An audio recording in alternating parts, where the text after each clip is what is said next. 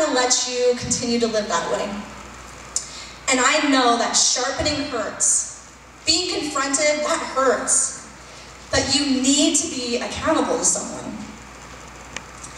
So again, I think that, that God wants to heal you from your untamed tongue. And God wants to give you strength to better control your tongue. So if that's you, I want you guys to get prayer now. All right? Second thing,